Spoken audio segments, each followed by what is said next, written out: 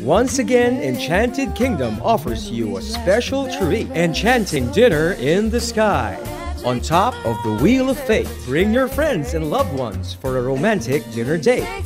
Come to Enchanted Kingdom on February 14 and be part of this annual Hugapalooza, where families and friends can bond together and enjoy a different kind of Valentine's Day celebration.